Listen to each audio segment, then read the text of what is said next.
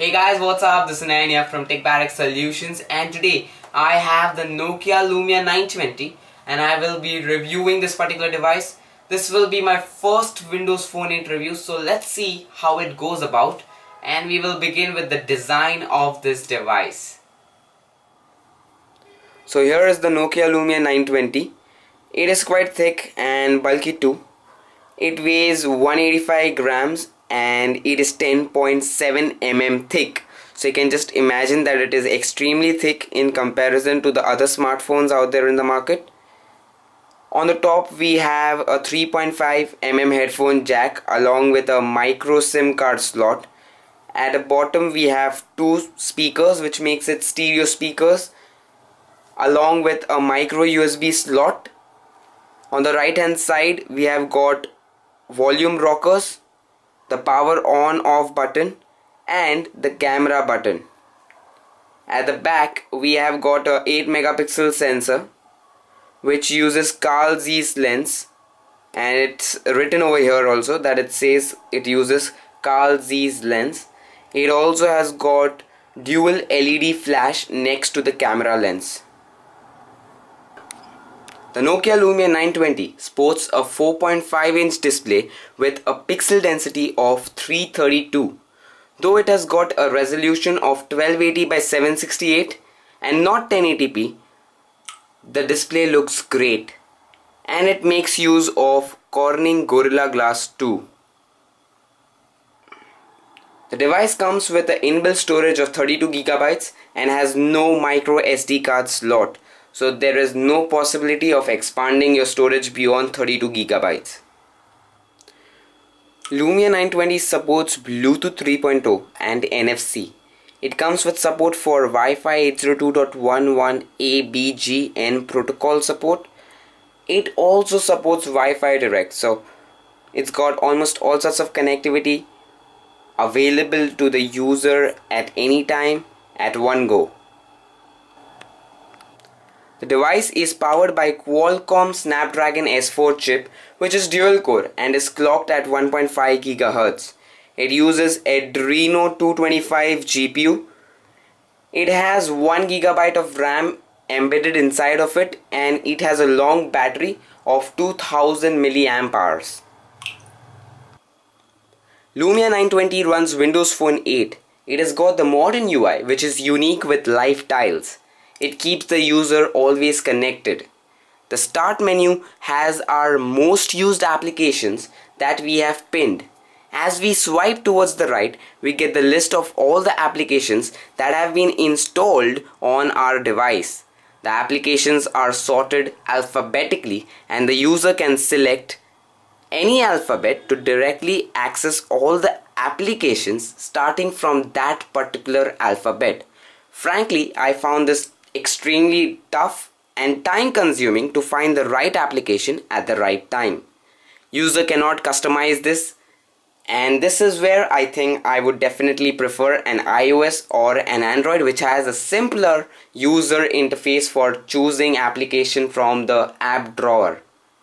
Microsoft has always tried to bring in colors to their operating system so if the user wants to change the overall color feel of the operating system, he can do that easily by selecting from a variety of colors.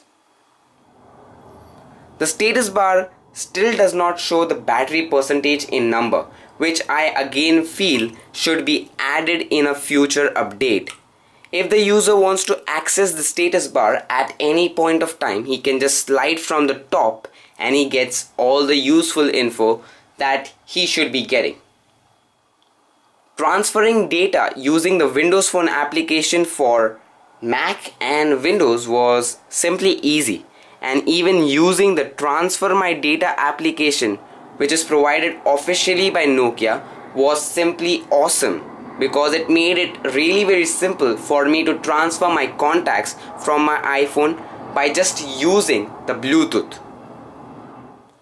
Multitasking on the Windows phone is simply pathetic. You can initiate multitasking by pressing the back key. Opening applications from the multitasking menu restores the previous instance but starting the application directly from the start menu or the app drawer will not restore or preserve the previous instance which is really very annoying. The major problem is the Windows Phone Marketplace. You will find the most commonly used apps like Viber, WhatsApp. However, the list tends to fade away as you just keep on going at the bottom. So you may have the famous applications but you don't have the variety of applications like iOS and Android has. Even the games, you have games from Gameloft, EA and other famous applications from Imangi studios like Temple Run. But then the list again starts to fade away. So again the quality of games is not that great when you just keep on going down. On the top you may have the cream applications, the cream games, but then the list fades. The best part of this operating system is backup. Backing up application list and settings, text messages, photos, etc. is just a click away. Just go to your settings, click on backup and just turn on the backup for either one of these options. Once you have done that, just go to that particular option and click on backup now and it will just take a few minutes to back up your whole data. So the next time when you buy a new Windows phone, you just need to restore your backup. That's how simple it is. There are certain bugs too and extremely minor ones. The settings, for example, may show that it is on or off, but in reality, the settings might be opposite. So the user actually does not know whether that particular setting is on or off. Let's begin the performance of this device. So in this performance, I will be covering the music and video performance, application performance, the gaming performance, the benchmark performance, and also the camera performance.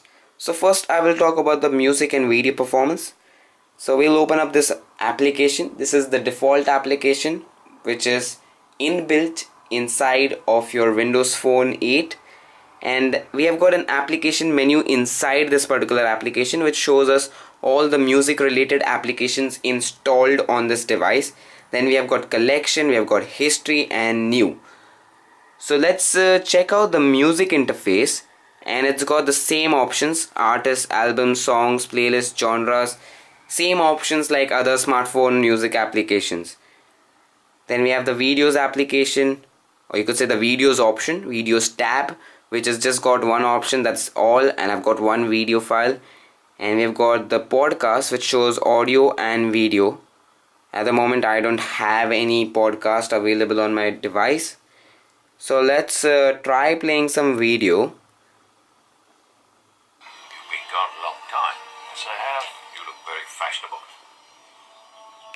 So you can clearly see because this device does not have a 16 to 9 aspect ratio you will find those black checkerboards on the top and bottom.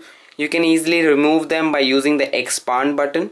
This may be annoying for certain users but it is not annoying for me because I've been using smartphones like since 2009 and that time we didn't have anything like 16 is to 9 on the smartphone. So it's perfectly fine for me.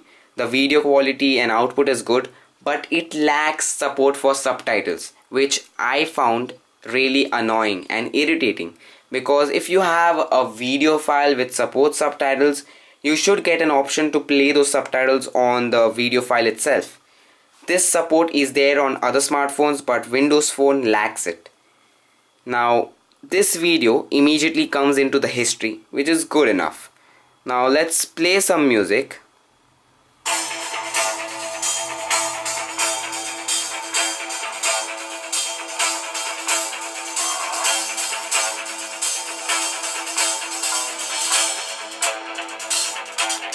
you can see there's a good output coming from the speakers.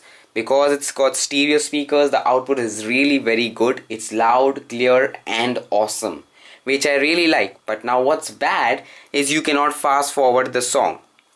Now luckily you did not play any video file so you can begin the song from where you paused which is good. But now let's say if I played a video file now I cannot begin that music file from where I had paused which is again something annoying. I can just go to the history and it will start from the beginning. And as I told you it does not support fast forwarding or rewind. So this is completely bad feature pathetic feature whatever you can say. And it is a very important and, and essential feature which any user wants. So for this I would definitely switch to an iOS or Android because I want this feature. That is the fast forward and rewind feature. So that is pretty much this music and videos app and pretty much the performance of music and video on this smartphone. Let's check out the application performance. We will look at Internet Explorer and Microsoft Office. Let's open up Internet Explorer. First we will check out a mobile oriented website let's reload the website. So as such while reloading we have some flickering. But uh, once the website is loaded up we don't see any sort of flickering. So that is a very good sign. Let's open a desktop website. So we have engadget.com and while reloading a desktop website we see some flickering but once the website is loaded up there is no flickering. Zooming in is extremely fast and quick but while zooming out we can see white checkerboards which is not a good thing considering it is a flagship device with high-end processor.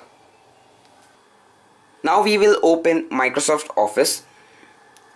I have sample documents in here let's try opening one of them. All the documents are resized according to the screen resolution. This can cause issues when you have big tables with many columns or if you have many images. Overall the reading experience is definitely simplified by auto resizing creating documents is extremely simple. You can just click on the add button and you can select some of the templates which Microsoft Office officially provides. Let's say agenda. And there you go. You just need to edit the text like the title like the date and the content. So it's that simple. So overall I love the Microsoft Office application. Games perform good on this device. High-end games like Modern Combat 4, Real Football 2013, etc. may lag at times, but casual games like Temple Run work like a charm. The bigger screen makes it more fun for the user to play games on this device.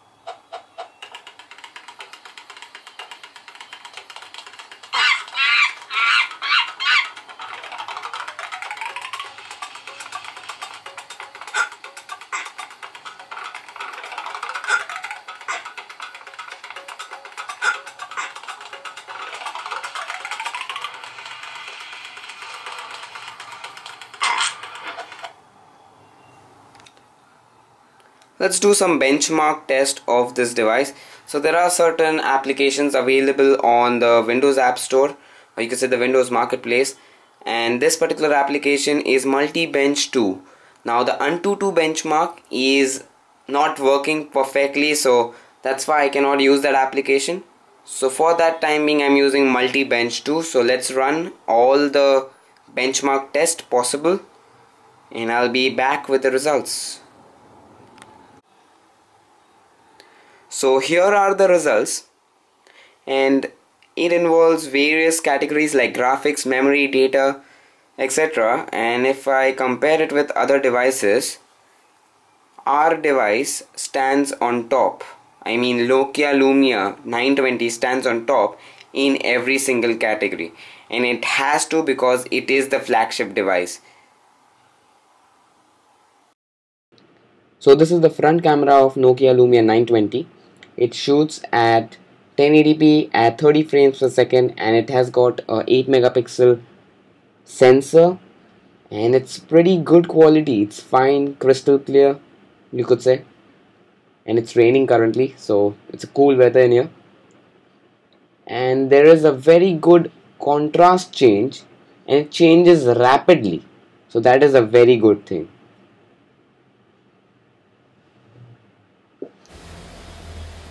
so this is the front camera and it's pretty good. It shoots at slightly above 720p at uh, 30 frames per second. Now the issue is lack of flash so when I go into a dark area my face will not be visible that clearly. And you can just see as soon as I come into the light area lighted area it is clearly visible. And the contrast ratio changes extremely fast which is really good